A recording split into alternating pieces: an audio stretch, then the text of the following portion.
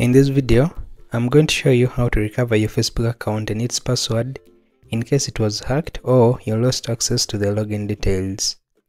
For this to work, ensure that you follow all the steps that I'll be guiding you through and also don't forget to subscribe to the channel and turn on the notification bell for more updates. The first step is for you to open your browser, then go to the search bar.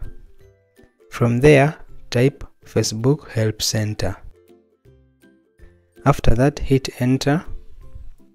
So from the search results, select the first link that says Help Center. You'll be redirected to the Help Center page. So from there, you're going to click on the three horizontal lines in the top right corner.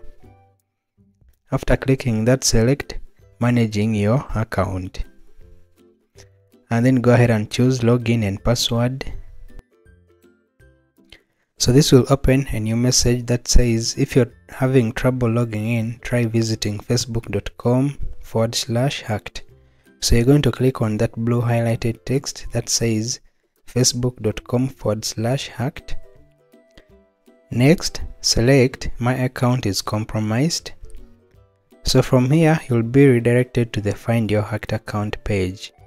So there, you can enter either your mobile number, email or the full name associated with your account.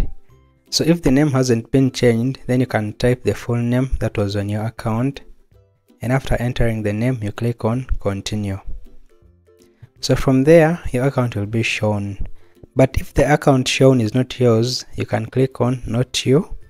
But if it is the one, then you can click on recover. Now the next step is for you to follow these three steps in order for you to recover your account. So the first step is for you to set a new login phone number or email. So you can proceed by clicking on start. So from there, the first action therefore is to set a new login email. So you make sure that this email is accessible because Facebook will send a confirmation code to that address to verify that it belongs to you. And also this email will be used for future communication regarding your account recovery. Additionally, ensure that the email you're entering is new and has never been used to create any other Facebook account. So after entering the email, you click on get code.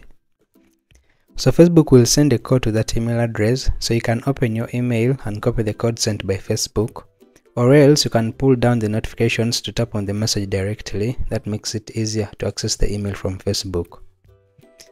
Now after copying the code, return to the recovery page paste it into the enter code area and then click confirm. Now the next step is to confirm your identity by uploading your ID and to do this you click on upload ID. You can now choose the type of ID you want to upload. So Facebook allows you to submit several types of IDs including a passport, driver's license, national ID card, marriage certificate, official name change paperwork, etc. So you can choose the one that is available to you so for my case, I'll choose the national ID card. And then after you've selected the type of ID, then click next. So now in the next part, you're going to take a photo of your ID. Now before that, make sure to find a well-lit area and avoid glare or shadows, ensuring that all the four corners of the ID are visible. So once you're ready, you click on get started and also allow access to your camera.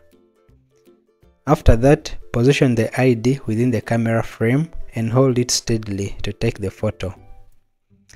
After taking the photo, you can submit it. So if the information isn't readable, you can choose the option to retake the photo. But if it is readable, then you can go ahead and submit. So after submitting the ID, the next step is to wait for an email from Facebook confirming the decision about your identity. Now Facebook will review your identity to ensure that the name and photograph on the ID match those on your Facebook account.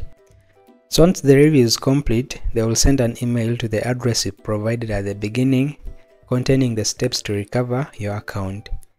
So you're going to open that email and click on the link with the subject line indicating the final steps to regain access to Facebook.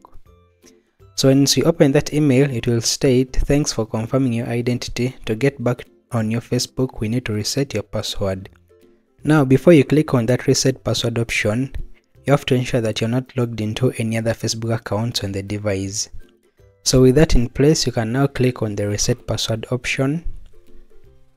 So after clicking that, you'll be redirected to the new password recovery section where you'll choose a new password for your Facebook account. Now you can enter your new password and make sure that it's strong and not easily guessable. So after that, then now Facebook is going to run a security check to ensure that no unwanted changes were made to your account, such as alterations to your name or followers that you did not add. So by following these steps, you will then be able to recover your Facebook account securely. So thanks for watching, I hope this was able to help you, but I'll keep you updated on new changes so be sure that you're subscribed to the channel and the notification bell is on and I hope to see you in the next one.